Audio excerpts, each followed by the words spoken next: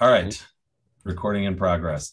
So I was we were talking in the in the Brady Bunch uh, Discord for a while back about Atlas and how we all made it here, and it kind of struck me how much awesome stuff that Atlas does, and I kind of wish that there was something I could do to to like you know give back. And I've realized that like all of that time I spent programming put me in a pretty unique position to be able to jump on this. So I'm sure there are people who do this sort of uh, scripting a lot better than me, but um, I, I, think that being being a programmer definitely helped me jump into it really quickly. Um, do you guys see my screen? Yep. All right. Do you see my cursor? Does that show up? I see a pencil. Good. Okay. Um, let me pull up Stock Hacker. So what I want to talk about is is both um, scripting for scanners as well as indicators because they're basically the same thing. Um, and if you if you can write an indicator for something, you can write a scanner. Um, and that's it's just a it's it's how you a- approach it and how you think about it conceptually. Um, a scanner is a yes or no question. You're asking a yes or no question and it will it will pop up a list of all of the things that that say yes. Um, and unfortunately i don't know how this works. Like when you just open up your your scanner and all i did was i hit uh, detach and it pops it up for you in a separate window um, which makes it handy to have lots of things going on at once um, I don't know what their default time range is when you just say, give me a percent change of 5%, like for, for what, for how long? I mean, it, when I scan this, it gives me about 1500 stocks, which seems uh, like a lot. Um, but I have no idea like whether that's a, on a on a daily like five percent or whether it's a one minute five percent like that sort of thing sketches me out. So I I, I, I tend not to use this sort of um, metric very much. I mean, you could just add filtered stock and then you know add more here if you wanted to. And I do that for for some things. I'll I'll sometimes I'll put the the like the close um, if I want to do a min max, but I also do that in the code just so it's all in one place. Um, but at the very root of it, like so, if you create a new scan or start with a, a, an existing scanner, right now this will scan for I don't even know what. Let's see if it even scans anything. Yeah, this is uh, so sixteen thousand one hundred and fifty stocks. So that's how many stocks we have um, total that we can expect. So any number smaller than that, I think we've we've done a good job. Um, so one, when it admit. So when when you when you start adding adding filters, um, one of the things you can do is is add a, a custom filter, um, and the, all, all that is is if you just create a, a, study it'll drop in this default one but you can go down to custom. So this is this is where it starts getting into the custom stuff. If you want to write a custom one um, you can go to custom and then it will pop up this editor um, so this isn't all that helpful you can edit it from here the, the cool thing about this is if you do edit it you can go in here down to um, study. And if you have any studies that you've written, you can pick them here and just use whatever plot you're you're pulling out of that as the study. And then, you know, this is kind of a visual way of setting these things up. So if you say um, the, you know, three bar play, um, and the offset is is just um, whether it's forward or backwards in time on the candles. Um, so whether it hits and then alerts at a separate time. Um, so this, it shows automatically, it shows what plots are in there. I have two plots. You have to pick one because the scanner can only work off of a single plot. Um, and I don't even know what this is going to do, but um, you can then set it as, as different like crosses above, you know, values, a different study, you know, all kinds of, you know, whether it's above a price. I mean, at the end of the day, this is, this is that question we're asking, yes or no question. Does this condition do this um, other condition. You know, so it, it's just a matter of figuring out like how you want to how you want to set those up. So let's just pick a random thing um, and then save it so we can see. So so it's written this out for us, um, and it's it's got a it, it's it's referencing the original study. And then it's referencing that plot within the study, and then it's saying crosses above close. This is kind of an English language, you know, seems really easy, um, and it'll it'll do something, but that's not really all that great if you've got a custom scan that you want to be able to, to dig into. Um, so what I've been doing is getting into, um, when I edit it, I'll just jump right into the ThinkScript editor. And then this, this is where I do most of my work right here. Um, it's got all of this cool stuff on the side here that will, um, this is this is kind of a, an overview of all of their API that you can dig through. A lot of this stuff doesn't make sense to me. Um, some of it does though. I mean, I use average a lot. Um, and then when you click on it, it, it shows you the um, quick reference here. It's better online. They have more things and more examples online um, at their at their website. Um, but this this basic thing, like this is that question. So this ADX crossover is a yes or no question. It's going to return either true or false. Um, I don't think it does out of the box do anything. Um, but at the at the very basic, you can go um, plot. You have to name it. Plot is uh, um, the default for if if it's uh, it's an output. So you say plot, and then you have to give it a name. We'll just call it scan. This can be whatever you want. Um, you, you need that as a, as a reference for later. Plot scan equals close. Um, and then that's it. So this doesn't really do anything, but this gives it um, what you want it to do, like that we're, we're going to be looking for a yes or no value um, or, or a number. I mean, that's the other thing you can look for if it's uh, above something close above uh, whatever, $10. Um, and then we named it scan so that it it will pick that up and then use the answer of that to plot things. Um, and then anything with a close above $10. So if we hit OK, you can see that our custom study is in here. We don't have anything else set. So if we just hit scan right now, this D tells us that it's going to be running that on a daily. Um, we could run it on a, on a shorter, you know, anything above $10 and a shorter, but we're still looking at like 7,200 stocks that it returns. So that's how many stocks are above $10. So that's our scan. I mean, that's, that's really all it is. So if you're, if you're given a scan that says plot close um, which is just the close price, is greater than 10, and you're like, well, I want to, I want it to be, you know, on the on the 10 minute chart, and I want it to be, um, you know, you hit the little edit pencil here, it'll pop up that thing again, and then you can go into the editor and say, make it whatever you want, eleven dollars, you know, and then it'll it'll set that for you, um, which is fine. But if you don't really know what else you're doing, then you kind of have to spend a little bit more time with it trying to figure it out. And if you try to scan for something and it gives you 7,000 results, um, you, have got to have ways of narrowing that down a little bit. Um, so I guess before I go too much further, has anybody here done any programming before? Or are you guys all pretty much just full-time trading or working at Chuck E. Cheese? Hang on. Can you hear me? Yeah. Oh, oh do I use exclude? Yeah, I need to look at the.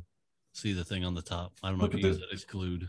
Um, yeah, I, I actually do. One of the things that I exclude, I have a list of all um, warrants that I went through and compiled, and I exclude those because I don't I don't like results with W in the at, at the end. So yeah, um, and, and it's kind of nice. And then scanning all stocks rather than everything. I mean, that's that's the other thing I, I, I tend to like.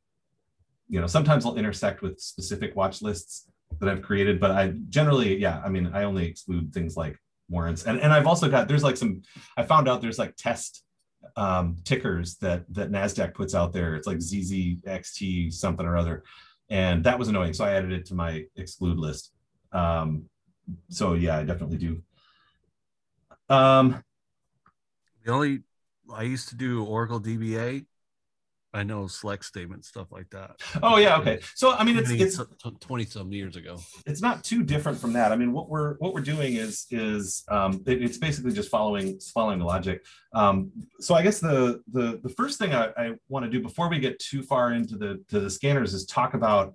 Um, oh, there's more people. Um, I want to I want to talk about indicators because, like I said, if you can create an indicator for something, you can create a scan. And this is indicators are how I debug my scans because a lot of times I'll I'll, I'll want to scan for something specific in a ticker, like you know, hey, this bar looks really big. I want to see how many, um, you know, how many uh, how many stocks have five percent pops uh, within the last five minutes, but this doesn't have one in the last five minutes, and I don't know how to to debug that without you know going into uh, and creating a, a, custom indicator that will that will also like show on a plot it'll show a result um, and then I know that the logic is sound and I can then drop that into a scanner and then refine it from there. Um, so the way you can do that is just go in and create a new study. So if you go into your, your studies, it's the little uh, beaker icon. Um, in here, one of the one of the options is to create. So if you just hit new uh, or hit create, it will um, pop up a new script window, which you can, you know, it'll helpfully give you new study zero. It'll tell you already plot data equals close. And this is really nice because you have a fully, you know, th there's your study. You can hit OK, hit apply. Now your study shows up. Um, and you can see that it's not a very useful study. It just plots the close on the, the I mean, it's just the close value with a simple line, um, which, you know, who cares? Um, but it's it shows you how it works. And so now you can start editing it from there. So if you go into your beaker again um, in the studies, you can you can actually just click on this uh, little script icon here and it will let you open it up.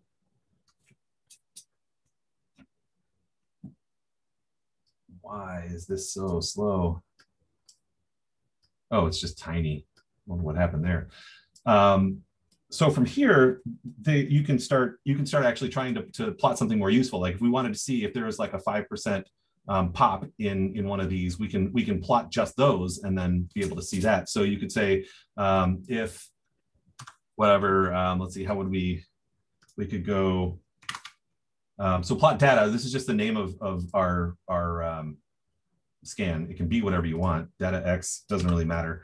Um, and it and it shows up red right now because it's got an invalid statement. And that's not really all that helpful unless you know that what's wrong with it. Um, i had opened a parentheses but didn't close it. And so it's telling me that there's just something wrong with that line. Um, so once i fix it then that error goes away. But it's dumb things too like if you don't put a semicolon at the end um, because that's how it knows that it ends the statement because you can do cool things like this, where if you want to start your parentheses on one line, you can dump it on another line and it's still valid. so you can, um, and I do this all the time where it's, you know, just so that I can, I can um, set different, uh, different conditions really easily and then comment them out if I want to. And you can comment something just by putting a little um, shift three hashtag, um, which is pretty easy um, although it invalidates my statement. So plot close. So what we want is anything that's um, close minus open divided by close. So this is going to give us um, a percentage. And if that percentage is greater than say 0.03, uh, so like 3%, then we want it to plot. So we hit we hit OK, and then uh, hopefully it'll show us something. And if it doesn't, we have to go figure out why. Um, so it didn't show us anything here, even though we know that some of these bars have to be like bigger than that. Um, but and it turns out that it's because what we did was we asked a yes or no question and we got a yes or no answer. So if you look down here at zero, you see these little peaks here are at about one, right? So that's that's basically true false. Um, what that means is that we got an answer, but we didn't get it where we expected to get it. So it showed up off the off the chart down here. It's true false answer uh, because everything is going to be a number at the end of the day. These are like every single variable resolves to a number, or it can also be a list of numbers. Uh, we'll get into that later. Um, but what we want to do is display this in a way that we can actually use it as an indicator. So if we go back into our script, um, from here you can open it up again. And I spent hours doing this, just, you know, up, down, up, down. Um, but one of the things you can do with a plot is to, because this is a, this is a true or false statement, right? So it's saying either zero or one, and then that's how it plots it as a zero or a one, which for a scan is perfect. So if we wanted to scan this, um, you know, right now you could copy this into a, into a scan um, and then run it and it would show you any any current bars where the where the bar body height is greater than 0.03. You can also, um, instead of close minus open, you can do body height, but that doesn't tell you whether it's a bullish or bearish bar. And I, when I just want to look at the, um, you know, one one direction here.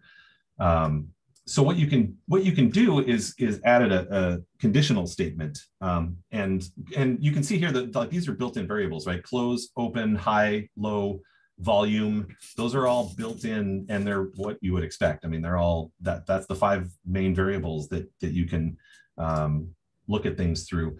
But if you were to add a conditional so if so we want to say if whatever's in parentheses here um, if whatever's in parentheses is true like that's that's what the if statement does. So if that's true then and then we tell it something to do.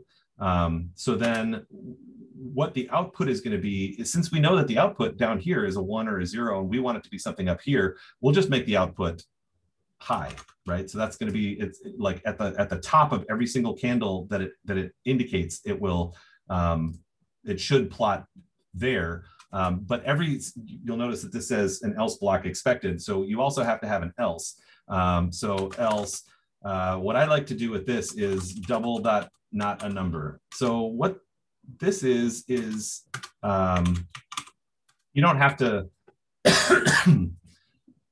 use this for really anything else. It's a placeholder where it's not zero because we have a zero on the chart, but we only want to show things that are, uh, we only want to show things that actually match and not have it go back down to zero every single time because that would be kind of annoying. Um, so this this is like a zero that doesn't exist. It's it's like um, uh, it's like another number that that is just sort of non-existence, not zero. It's nothing. Um, and that's like double is is just a, a, reference to the size of it in memory so like none of this needs to really make sense you just have to remember that this is a non-number and and every time you see that it's it's basically just saying this is a non-number um, which is kind of confusing for non-programmers but if you you know if you want to mute uh, responses this is the way to do it um, so once you once you do that you can hit apply and then you can see that it, it now it only draws this line from here to here because in only these two bars does the open and close uh, is it greater than than this uh, three percent, um, which is great. I mean now we now we have an indicator and we have this uh, open close. Um, uh, we have this this plot set, so we could copy this over um, and make a make a scan out of it. But this actually isn't all that interesting of a scan yet because if we want to make it um, useful, we're going to need to give it a, a few more parameters.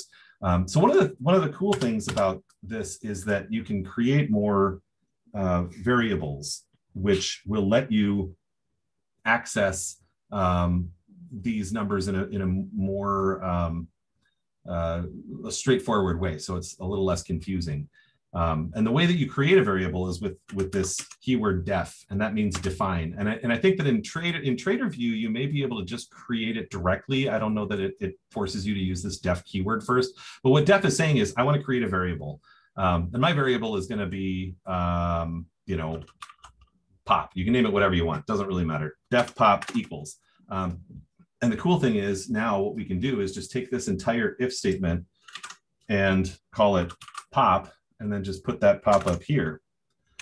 So now we have, and you have to remember your semicolon because otherwise it won't work. Um, so we've created, we've created a variable named pop, set it to that same value, and then now we can just reference that value later. So anytime you see this and it, will highlight it for you, um, you know that you can just say, okay, whatever this is, that's that's what we're going to put in here, which makes it a lot easier for you to, to add more variables if you want to, because then you can add a variable like um, def percent equals uh, 0.03. So if you want to change this later, you can always set this to something else. And then at the top, it's just, you know, now it's now it's separate as a variable. So we can do other cool things with it later um, or reference it later in different places. And if you want to change it, you only have to change it in one place to change it everywhere else it's referenced. Um, so this this is kind of cool and all. Um, but what I want to see is when um, maybe when when like a volume average is is uh, the, the volume is above average. So we need to add a couple more variables or a couple more conditions here. So we have this condition which is is cool but let's add another condition using this um, double ampersand which means and. It's the same thing as typing in and um, which also works. You can just type in and. Um, so volume is uh, greater than uh, the average volume um, which average is one of those, this is one of these uh, tech analysis uh, functions that's built in. So it's going to give me an average of volume, which, what does that mean? I mean, the average of the volume is great, but how does, what's that calculation actually doing? Um, so if you look down at the, at the bottom of, of this, where it uh, shows you, I can pull it up. Um, so when you click on average, it'll it'll tell you what it's what it's doing here. It's it's looking for the data, which is volume in this case, and then a length. Um, and the default value is 12. So the length, this is where the, the concept of how this programming works is um, it, it, this, this is the same in every trading platform. Um, when, whenever you see one of these variables like volume, Um, the, the tricky thing here is that it's not really just a variable. Like if you don't reference any anything else, you just say close, then yeah, I mean, probably what it means is, is it's the close of the current candle. But in, it's also at the same time, it's a it's an array, it's a list of every candle's volume up to this point. Um, so this volume is actually a data set. And this is the same way, and, and you reference an array with brackets. So it's bracket zero. Um, so this is the same thing as just saying volume when you're referencing it directly. But this bracket tells it th that it's an array and you're referencing it with a number, which is the address of whatever variable, whatever um, value you want, like where, where it is in that array.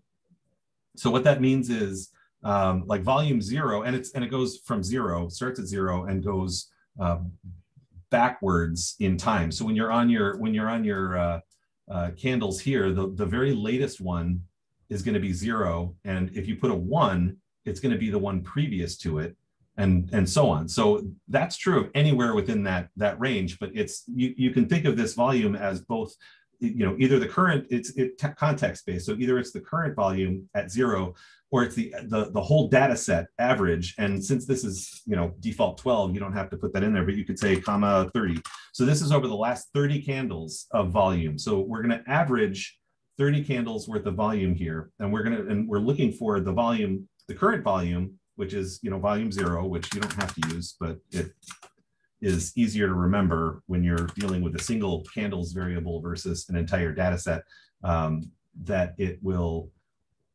uh, this volume will be higher. We're looking for a true false here where it's higher than the average volume of the last 30 bars.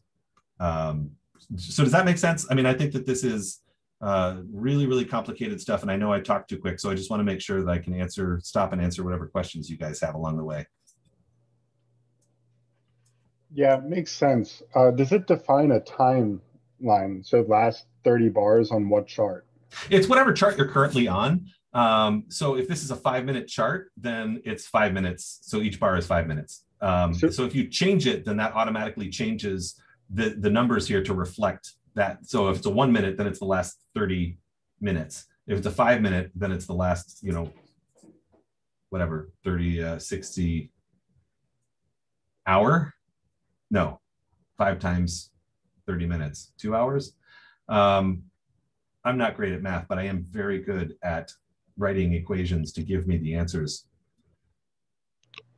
So, all right. The, so now we have a, we're looking for a, uh, a volume that's greater than the average volume, which, you know, hopefully those will be. So we'll hit apply and it should automatically update it at that point. You don't have to close out of this. So, so it makes it very easy for us to, to dig through. But we already knew that these were above average volume anyway. Um, so let's do, you know, average volume uh, times, which is an asterisk, so for, for non-programmers, um, times is an asterisk, slash is divide, um, and plus and minus is just plus and minus. So we're gonna go like times uh, two or something like that. So twice the average volume. So now any candle where the volume is twice the average volume, we want it to, to show up, which it also does here, which is great. This is not as good of an example. Um, and, I, and I do wanna do uh, just real quick, this is not gonna be on the test. Um, but one of the things I like to do is set a painting strategy, which is how this line looks. So right now it's just a straight line connecting things. But what you can do with the, the painting strategy, which is also in, um, it's in one of these things on the left here. I think it's in look and feel. Um, you can set what that line looks like. So you can set color, like right now it's just defaulting to cyan, just because that's what the, the first plot will, will always default to. Um, but th this is nice because it lets you um, use things like points, which for us is going to look better in our final chart. So it's not a line connecting them, it's just putting dots. So this one suddenly pops in. So you now see the, the disadvantage of using a line is that if you only have one isolated example of it, the line won't show up. Um, and that's kind of a drawback for indicators when you're doing it like this because you want to see every instance of it. So here's a hidden one that was there. It was returning correctly, but it wasn't drawing a line because we weren't telling it to draw a line. Um, but now that we've told it to draw points, suddenly it shows up, which, you know, it's nice, tells us how it works. Um, so a lot of my a lot of my indicators will do something like this just to make it easier for me to see. Um, but that also then tells us, you know, that we're on the, the right track. So if we if we were to just copy and paste this into a scan, with we'd have to change a, a few minor things about the way the the plot works um, because it doesn't really care about. Well, actually, we could probably just do it like this. Um, the scan is going to return if this was the current bar, it would return this stock, and that's all there is, you know, for, for a scan because this is a yes or no question, and it would answer it if it were here. Um, the the problem with with that is that it's i mean you want to find things that are kind of recent so there's this other uh, this other thing we can add to it where if you say um, within so you can say within 10 bars so within says um, within 10 bars just means that if if this occurs at any point within the last 10 candles and bars is the way it says uh, candles the way it references candles um, then it then it'll also pop up an indicator. So if we add this here, we should have, um, oh, actually, I guess it doesn't do it on this. That's funny. I really thought that it would add it. I'll have to check why. Um, it's supposed to be adding it here, and I'm not sure what I did wrong. Oh, else double. Uh, I think I know because this is where parentheses are important. So if you add parentheses to the statement and then add within 10 bars after it, um, I think then it should. Oh, and then the problem is that you can't use the reference the, the double not a number because um, yeah, this this within 10 bars is a scanning thing. I'm jumping ahead of myself here. Sorry about that. Don't mean to be confusing. Um, so why don't we take this and make it into a scan and see what see what pops out. So we don't care about the painting strategy because a scan doesn't have a painting strategy. We'll just copy this stuff um, and then open up our, our scanner. Um, so here's that scanner that we had, and all I'm going to do is go into this, uh, edit, and then paste this into the ThinkScript editor. So the condition wizard is not really all that useful, um, but in here we can uh, just drop this. And instead of instead of saying um, th this if statement, we we really only need to do the the pop. So all we really need is is to plot this this yes or no question because what a, what a scan wants is just a one or a zero, yes or no. Is this true or false? Um, so when we plot data equals pop, then it will give us whatever, you know, so this is our, our size. So anything that's 3% that has a volume greater than two times the average. There's better ways to do this, but maybe we'll get into it later if we have time. So when you hit OK and then hit scan, so we're scanning on the 10 minute, um, and this EXT means extended hours. Um, one of the things that that uh, you know Brady and, and Rodessa don't really talk about when when you're when you're plotting your your DRs on a daily chart, that those numbers don't take into account anything after hours or pre-market. So when they flip to the 180 to get better detail, now all of a sudden you're seeing the extended stuff. So you're going to see like like let's say you had something that ran up to fifty dollars in after hours and then dropped again before open. That's not going to show up on a on a daily. That those daily bars don't don't have extended hours stuff. So if you go to the 180, now all of a sudden it shows up because this this extended hours stuff is in there, which is why there's more detail there. Um, so if you uncheck this, then it won't include those extended hours. It'll only include hours between the bells. Um, I usually include extended hours anyway, though, because I don't know why you would want to exclude that. Um, yeah, maybe there's maybe there's reasons. Um, but if we hit scan here, then we only get 76 things. So 76 things show up here. Um, let's find the let's find the most interesting one. Here's this global pultrusion group, um, which like most stocks that I trade, I have no idea what they do. Um, but we're going to send that chart over here, and sure enough, there's this huge spike here, which you know looks looks great. You know, I mean, it, it looks like it works. So it's probably um, the the close to the open is definitely you know at least three percent. So we know our scan works, um, but it's showing us an awful lot of extra stuff you know that, that we don't necessarily want. And also i mean this is where this within three bars comes in within 10 bars comes in.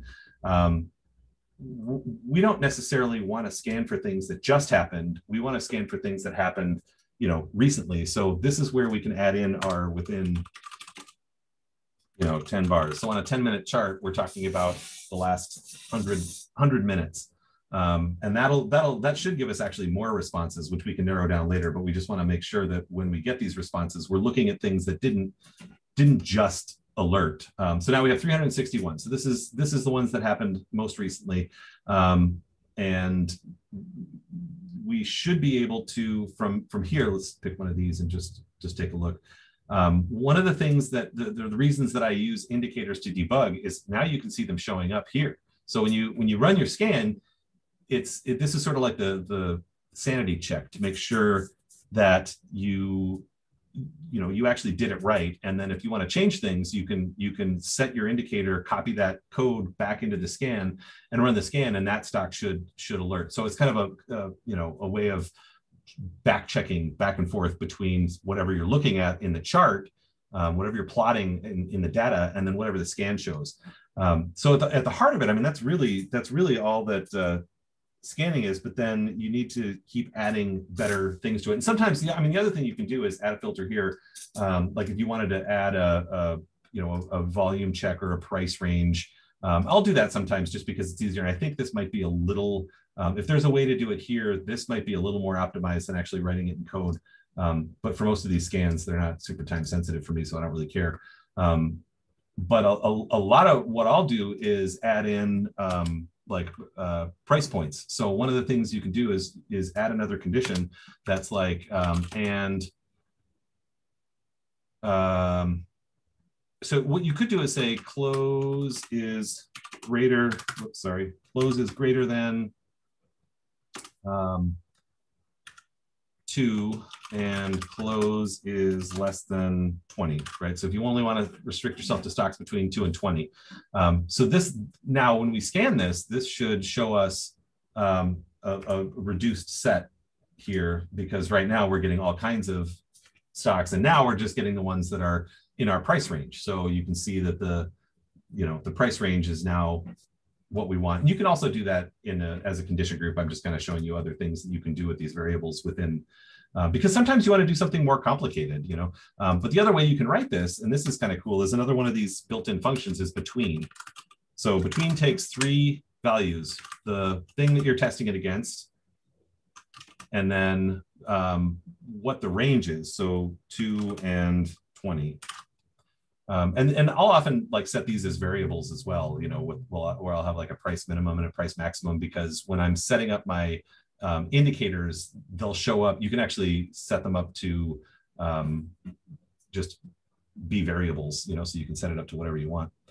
Um, so, so right now, this is this is now, and, and if you put this into an indicator or um, on this stock, if this stock is already within the right price range, it'll it'll show, but if it's not, then it won't. So this is, this is OTC. Oh yeah, I guess I never, you are right. I never uh, changed that to exclude OTC. Um, but this, this stock won't show up. These won't, these won't, um, these indicators won't show up in this uh, study if I were to add this uh, between on here. So that's between close two and 20. Um, uh, and, and that's uh, something that I do a lot with these indicators is I'll I'll write the scanner using the indicator and then go back and then pull in um, you know change the inputs on uh, the the study to be able to sort of refine what I'm looking at, um, which is pretty easy to do. So if somebody were to like hand you a, a like one of like my upgapper stock, so at this point now you should be able to take any um, scan queries that that you get that are that are not locked um, and you can open it up. So here's my 5% pops within three bars scanner. Um, so what I've set here is I, I, set the volume up here only because um, this weeds out all of the garbage. There's a lot of garbage stocks out there that don't move at all. Um, and this is an easy way to filter those out. Uh, this one has this this 5% on here, and I'm not sure why that's on there. It's not really necessary because I have that within um, within here itself. Um, so here, here I've got my price min, price max. This is kind of older. I should just do this between.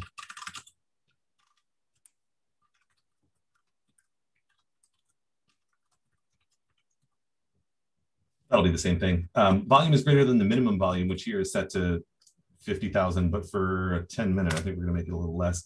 Um, then this is the the cooler way of doing it. So I don't know if you guys have ever used um, RCB's enhanced volume scanner, um, but I dug into that when when I got it from him, and it uses this uh, relative volume standard deviations calculation, um, which I've started using for a lot of stuff because it's cooler than an average. It actually uses an SMA of whatever it is that you're calculating it against, um, and then it'll um, well, I mean, for for for this, it's baked into the volume. So it's using the the volume against a standard, um, the standard deviation of a volume against an, SMA length that you pick. So for this, I I like the 20 SMA um, because it it's not as um, it, it's a little more responsive. It gives me a little more uh, a few more hits than uh, you know a 60 would give you just because of the way the, the action works um, in the range of stocks that we're using. Um, and then I use two standard deviations. So a standard deviation is, is um, I, kind of what it boils down to is like how, how, um, how much does this diverge?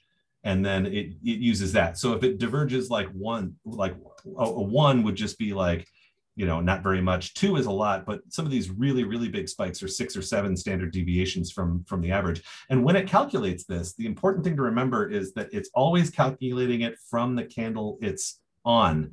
Um, so when it's in a scanner, it's going to calculate it from the latest, you know, on, on every candle, and then it, it'll use the the SMA is going to be looking backwards. So just like a, an SMA that you would expect, it's it's from that candle backwards. So the last um, SMA length 20. So the last 20 candles, it's going to look at our volume of the last 20 candles and say, is this, um, you know, what's the what are the standard deviations from the previous 20 candles? Um, if you wanted if you wanted to get this RVSD um, so it didn't like let's say there was a huge spike and then you wanted to see if the, the candle after that had um, you know, now all of a sudden this candle is included in that RVSD. One of the things you can do is, um, oh yeah, okay, despicable me. I uh, so the standard deviation includes 68% of the data. Um, so two is 95% of the data, which is, you know, it gives you a lot of um, spike information um, with two then. Uh, but if you want it to be fuzzier, then yeah, one would one would work. Um, but one of the things you can do with this, if you want to, to check, like one of the conditions you can say, um, if you want to look for um, something that is in a in a previous candle or skip the, the current candle, you can do this, uh, which is the the one, right? So this is um, this one is is referencing the previous candle like before the current one. So if you're looking at at um, and you would never do this in this case, but if you want to look at something that's before, like one of the things I do for for um, peak testing is looking at the average for the previous candles. Um, and anytime you create a variable of your own, like so I'm defining something as a variable here, um, all of those are automatically arrays too, just like these are. So you can say um, scan for poppers uh, one. So this poppers is like, so now this is the indicator, right? But what, what our scan is looking for is the one that's just previous to that. So right before the spike, you can add more conditions at this point. So scan for poppers one where volume. So now what we're talking about in this case is we're, we're talking about something that that had a spike in the last candle. And now we're going to add more conditions where volume is greater than or where RSVD is whatever. Um, so you can actually, you know, I mean, you can, it's additive. And actually, I think where is the wrong syntax there. Um, it would be and. So, you know, I mean, you can just, you can keep adding things together and, and get more refined by using these arrays um, with the understanding that you're looking backwards. One of the other cool things you can do with the arrays is look forwards by making it a negative number. So now what I'm looking for is anytime there's a spike, we're looking for the candle right after the spike. So rather than going, um, you know, as numbers increment in the array, they are moving backwards in time. So if you use negative numbers, it's going forwards in time. And a lot of what you can use that for is like if you want to do peak testing, for example, um, you know, just saying, give me everything that is the the like highest because that's one of the things you can do is is um, highest, which is a built-in function, um, highest uh, high, and let's say in the last 20 bars.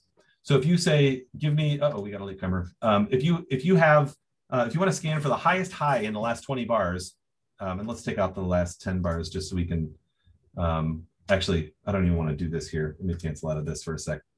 Um, I'm going to go into my indicator. And this is why I like to, to jump back and forth between the indicators is uh, because as you're um, as you're doing this, you it makes it a lot easier to sort of visualize what the scan is doing, which is why it's important to to you know debug it on an indicator because then you can see what it's doing. Um, so if you wanted to say, um, what is what is pop? Yeah, so we instead we'll just we'll just hijack our our scan. So if highest high um, in 30 bars, so if the if if this is the highest high in 30 bars, then then alert. Um, so the last in the last 30 bars, we want to see the highest high. So the, the problem with this is that it's only it's only backwards looking. Um, and actually that didn't work because yeah, that's a number, but what we want is for the high equal that.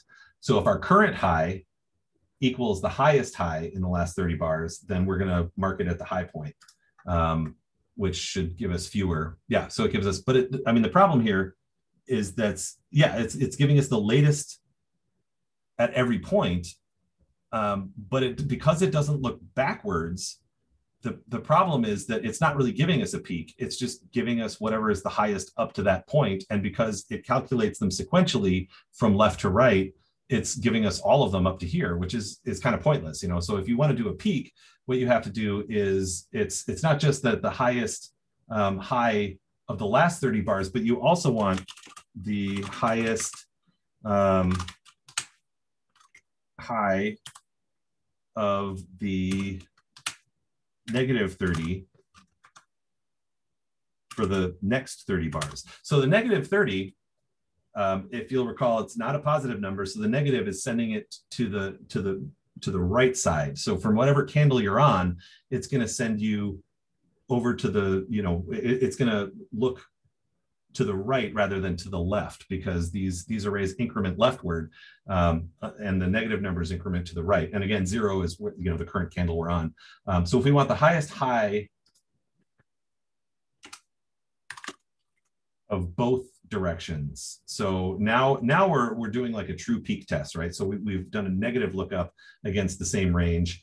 Um, and and what what this lets us do is it lets us say um, in in both directions. So hopefully we'll only see one um, one show up.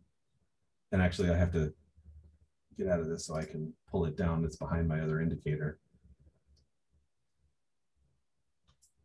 Um, and it didn't alert this one, which is because it's looking 30 in advance and it's it's failing because it's it's giving it not a not a number. So you have to test for this separately when it's within the first 30 candles.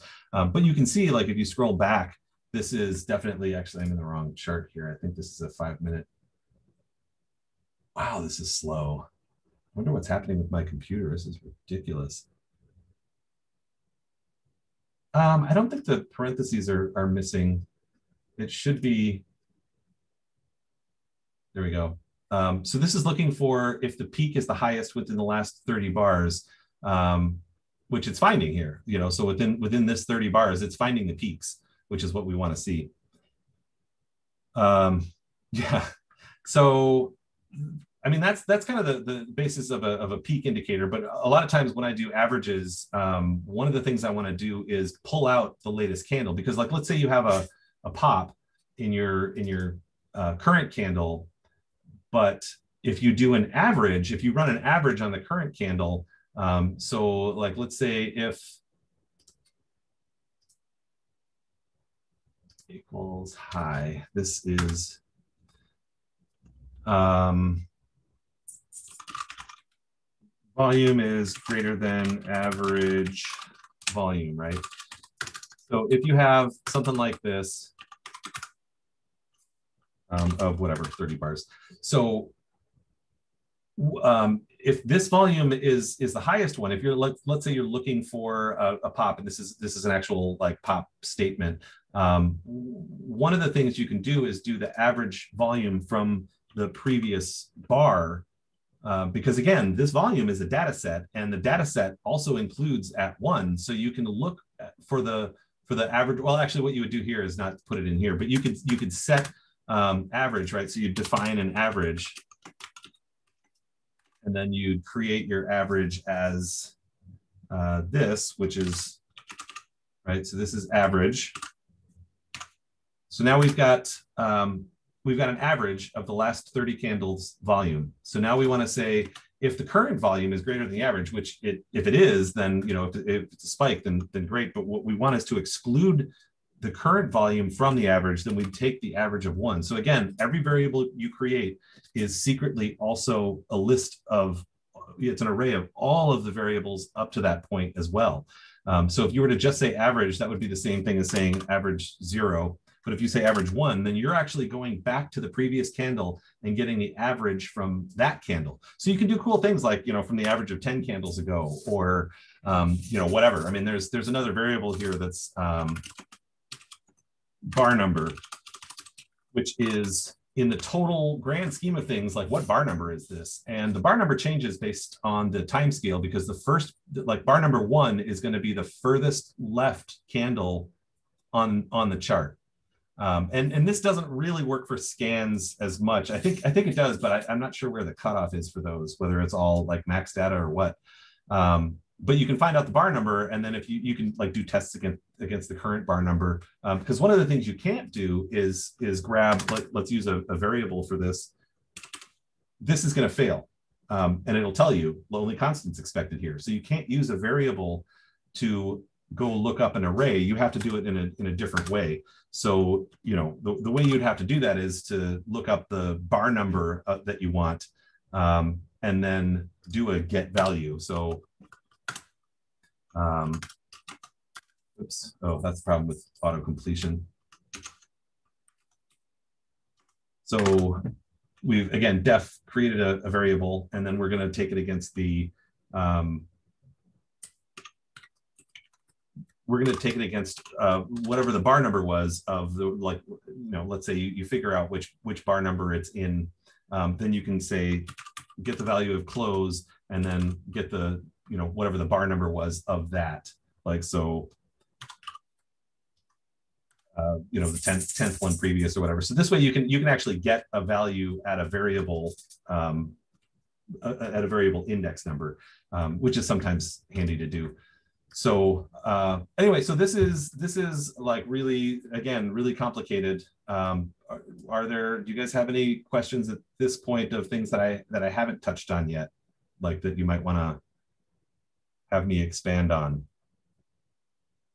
Because again, I mean, your scans don't have to be complicated. They can be just as simple as, you know, show me the close value um, when it's greater than X or, or whatever. I mean, like a lot of, a lot of my studies are really just that. I mean, the, the I think the upgapper one, which I, I set to, um, back to my scans, the, one of the ones I use constantly is um, this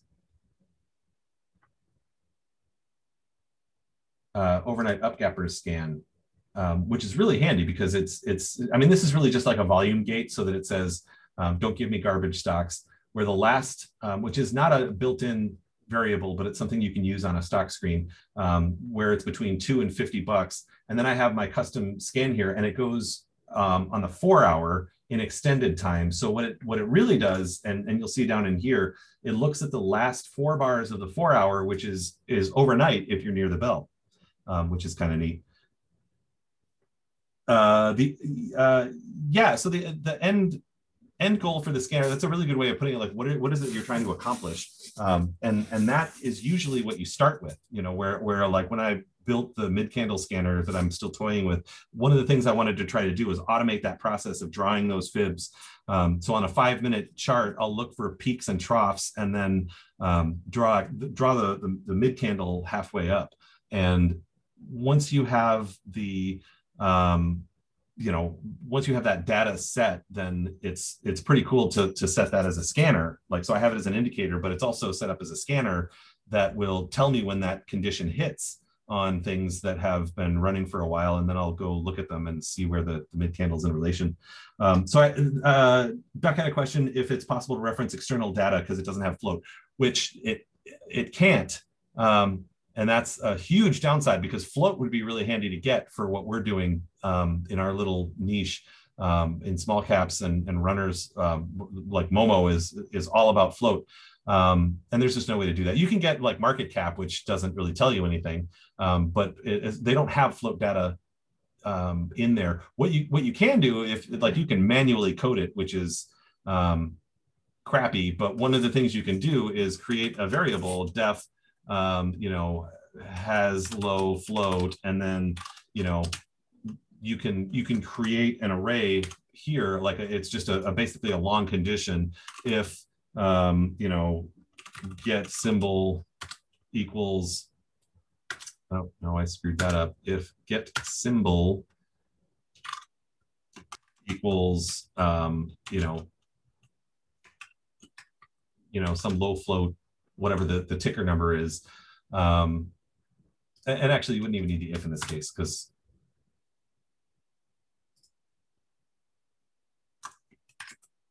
um, because what we're doing is, oh my God, so many typos.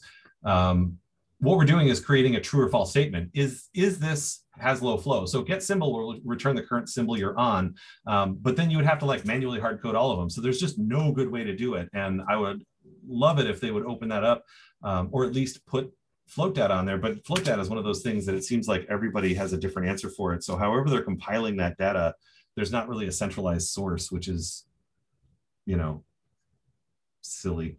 Uh, but yeah, I mean, basically you'd have to hard code it, which is, I mean, so far I haven't really done. And, and what I do is um, actually, you know what, the way you do it, you would um, create a watch list, a manual watch list of low float tickers, and then um, just intersect it, you know, just I mean that's that's how you'd set it up. You you wouldn't have to like hard code it in the in the code at all. You would just set it up as um, you know as a as a, a watch list and then scan against that. So like Trey breakout watches would be a great one to use because I think most of those are already low float anyway, um, and that that would be the easiest way to do it. I think.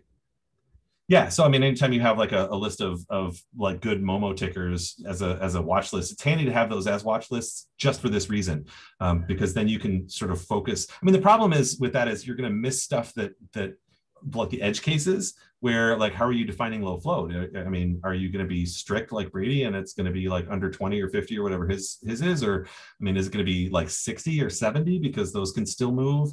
Um, so I, I tend to not really worry about that as much just because that'd be, you know, it, would be cool to know though. I mean, I guess that, that that's maybe something I should look into is, is grabbing one of those Momo watch lists and intersecting against that because that's already got everything on it that I want. And, and, and I wouldn't have to do things like exclude based on um, price action anymore, like the price, like minimum maximum, because that's also pretty limiting. I mean, if you have something like AMC, which has a history of going bonkers, then I mean, it might be nice to have it on there, but it's at 60 bucks, you know, or, or 40 or whatever it's at right now. So, I mean, it wouldn't show up on the scan necessarily.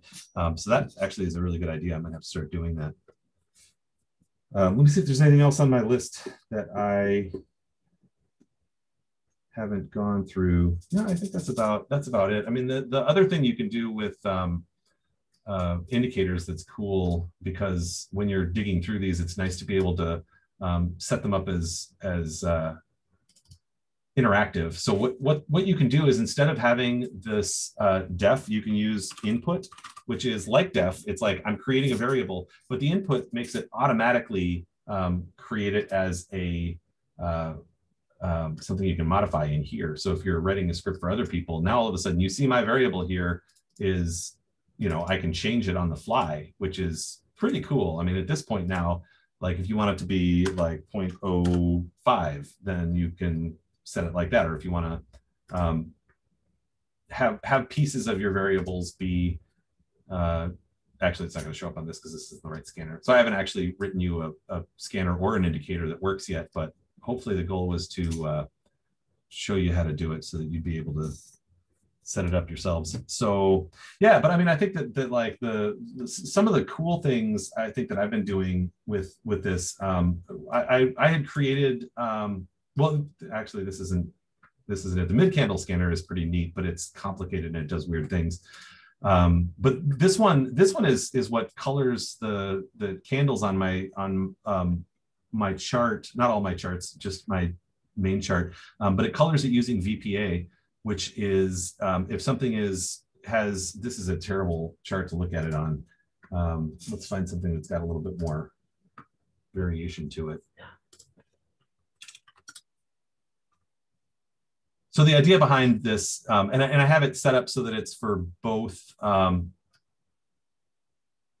the, uh, I, I, have a, a, volume script for the for the volume indicators, and I have a one for the the um, tickers themselves. And this this just sets it up so that that it it checks the wicks and it checks the open and close, and it says is this particular wick or open and close um, like how how bullish or how bearish based on percentages. So like if you have something like this this candle up here, which yeah, it's it starts out bearish anyway. It's got a little bit of a lower wick, but it's got a really big upper wick. So it takes the percentage of the close, which is way down here, and the high, and that tells you how much red to make it. And then it'll take the low to the close and tell you how much green to make it. So from here, the low to the close, there's not much green at all. So this candle is really red. I mean, this candle is really red. Uh, but you can see this one, this one's got more of a lower wick. So it's not actually, I mean, it, yeah, it would be a red candle for everybody else. But for me, this isn't that bad of a candle because the lower and upper wicks are, are balancing themselves to a point where it's brown. Whereas like this one is orange because, um, you know, it's got a much bigger body than it does wick. So it's actually closer to the red. Um, but then you have other candles like these, like some of these green ones that are, I mean, yeah, they're green, but like how green are they? You know, they're not that great. Um, they're not like the super greens, um, you know, and, and that's the sort of thing that helps me really um, solidify the like the VPA stuff that that Brady talks about is is being able to see it dynamically in the in the chart colors. But the other thing I have is this relative volume standard deviations um, that I adapted to make those colors brighter if their um, standard deviations are higher. And in the candles, I actually have it set to be more transparent if the volume is lower. So the lower volume pullbacks are going to be darker, whatever color they are, just because there's not a lot of volume associated with them. And then the more volume you have, the brighter the candles are. Um, so that just sort of incorporates all of the data into um, I mean, I wouldn't trade without my volume underneath, but I mean, I definitely you can you can see when there's volume and when there's not. I mean, this low volume pullback, yeah, it's green, but it's it's you know that's low volume right there. Um, so you really don't have to worry about this stuff as much. Um, which you know, I don't know. I think for for training wheels on VPA, I think it's kind of handy. Um, but it definitely works in the in the volume to be able to see like which like at a glance like what what volume candles are important and which ones aren't. Um, and all of that is just, I mean, it's the same stuff, you know, and you can even make indicators based. And I do have, I mean, I actually have um, scanners that that look for these spikes and then put them into a watch list. And and I, some people were um, talking about uh, some of the, some of my scanners returning a lot of stocks, which um, I did that uh, uh, on purpose on some of them because like on my top gainers list, I want that to be as big as possible so that the stocks that we care about are already in the list because um, the problem with with thinkorswim is that when you tell it to like let's say you have a scanner running um, and, and it's it's a it's a watch list scanner, and you say add um, you know add stuff to this list dynamically, whatever, uh, because it's a it's an ongoing scan. It runs every whatever three minutes maybe, and you know less depending on how how much load their servers have. But if you make that scan more expansive to include more stuff, then like Trey's watch list, you'll be able to catch those things faster and sometimes faster than trade ideas would because the the stocks are already on the list. They just pop to the top when you sort them as, as mark um, percentage and that makes it a lot easier to identify things that are rising quickly because they're already on your list. So like trey has spent all that time like curating his list and and what i want to do is get to a point where i can um, i can use my scanners as those lists and then they just pop to the top automatically and that I'm seeing those things. And it does pick up stuff that like, I mean, the, the, the, downside of a curated watch list is, yeah, I mean, you can put like typical Momo tickers on there, but nobody was catching GOED right before that thing popped. And it showed up on, on my uh, overnight upgappers list because I because it's dynamic. I mean, it shows up. It's just based on price, and the price action put it on the list for some reason. I think somebody. I don't know if anybody banked on it, but like they noted it and they were like, "Hey, this is something to watch." And I was like, "Why would you look at that? That's a dumb stock. Oh my god, what happened?" You know. So that sort of thing is kind of neat to see when the when the scanners pull out random stuff like that. Um, so anyway, well, it's been an hour, and if anybody has any other questions about about it, um, it's I, I can um, maybe do another session at some point if if people have like specific questions or a specific kind of scanner that you want to walk through making um, because like it, it's always nice to have examples to work from. I mean, the stuff I've shown you today is pretty pointless um, because there are better ways to get you know percentage pop scanners and I just kind of wanted to show you how to use the uh, the the system, you know, how to get into to scans yourself, um, because that's that's really the the biggest part of it is being able to like, um, you know, pop into a, a, a thing here. You know, if somebody sent you a, a like if you get one of my scanners, you'll be able to edit all of these things directly yourself. You'll be able to change all of these things and and toy with it, play with it. You know, I mean, just decide, you know, what sorts of variables you want to change. Um, so the question is, do we have a consensus of what would groups of trade ideas we'd have? And do we have a corresponding scanner for these groups? Like, um, yeah, I mean, it's this is the sort of thing where I think that you can take these ideas that I've got in my scanners and use them as a springboard for all of that stuff because I've got, you know, I've got a top gainers list, I've got a grinders list. I, what, I should probably jump into that and show you real quick. Um, the the grinders are interesting. The way I set that up um, I have like a hard mode on a lot of these things, but I also have other ones that are that are kind of more more straightforward. So let's just scan real quick. I like to scan before I edit just to see what's on there. So XERS and CLNE are, are hitting right now as as um, uh, grinders. So the, the way the grinders work is that um, over the last two bars, I want to see stuff where the body height um, is greater than a, you know, the, the standard deviations um, are greater than two and the body height is greater than uh, the day before. So it's it's and you can see I've commented out a bunch of other things like these are the things where I've been testing. Like they have a built-in is ascending um, where it takes any variable and then whether or not it's um, you know you take whatever variable you want and whether it's ascending over that range. So all the built-in functions work more or less the same. You give it the data set and you give it the range. Um, and, and it'll default. I think the range generally defaults to 12 for whatever reason. Um, but the is ascending stuff is only, I mean, it's literally like, is this bigger than the one before it? And you can do that yourself. And then you can do other cool things like add in percent. So it's not just, you know, so I have this high growth, like is the body height um, divided by the top greater than a certain percentage, um, which is, you know, it's going to tell you like, uh, it's kind of like a percent pop on the daily. So if you run this scan on a, on a daily, then it's like, is it bigger than, than whatever? I think it's 0.5. Um, so if we run this against, uh, let's go look at CLNE, because I know, I know Rodessa was on this, uh, or was it Brady was on it as a swing, I think. Um, but then, so this thing, this thing alerted as being one of the, the grinders. And if we look at the, at the daily, um, it definitely is. Like you can see these bodies are are big you know they're they're much bigger than their predecessors. So um, this one is is on the red. So this is one of those ones where you look at it and you'd have to make a judgment call like this looks pretty bearish to me. So i don't know that i'm going to be jumping on this grinder. Um, but the other one was uh what is it? Xers um, this one is this one show oh no i'm thinking of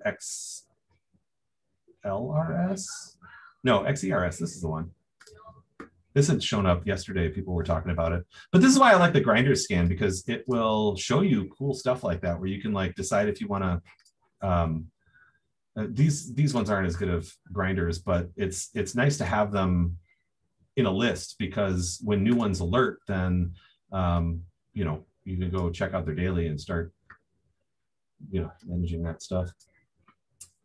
Um, yeah. So and again, all of these scripts are should be in the in our in our Discord at the at the Brady Bunch um, scripts channel, and they're some of them I've posted to Atlas, but I don't have enough uh, juice there to get them posted anywhere useful on um, for any amount of time.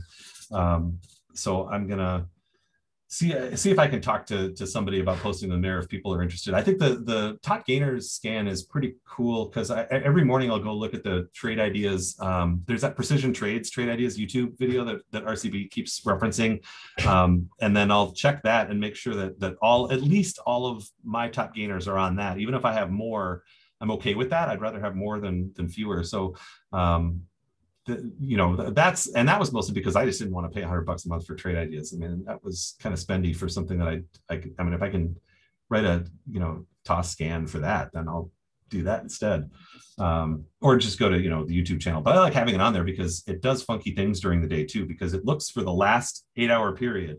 Um, that's my top gainers. Like the top gainers are going to be from like usually I look at it before the bell um, to to see the up gappers from overnight, but that's really all they are. They're like overnight So it's just a different kind of view into it. So when you look at it later in the day, those can change. Um, yeah, and and that's true. Uh, Hundred dollars a month isn't a lot right now, but I found also like part of the problem. I kept getting a lot of FOMO because I'd hear all of these hits on various things that were popping, and I'd want to go run and you know slap the ask and and that's I can't I can't trade that way. You know, I mean, it's just it it ended up with me um, just FOMOing myself into a lot of bad trades. So hopefully someday when I get a lot better at managing my um, emotions, I'll be able to um, calmly and, and, rationally slap the ask like Trogdor, but I'm not, I'm not anywhere near that yet. Um, anyway, so, all right, I guess I'm gonna, I'm gonna sign off on, on this one and I'll post it up on YouTube because I know there were a bunch of people who couldn't make it. Um, and then I guess if you see me around and you guys have any more questions, then you know hit me up, and I'm always available to hand out uh, scripts if you're if you're curious or if you don't have the links. So cool. Well, I hope everybody got got something out of it, and uh, you know keep keep paying it forward. So, all right. Now I have to figure out how to quit the stream. There we go. All right. I will, uh, I'll talk to everybody online.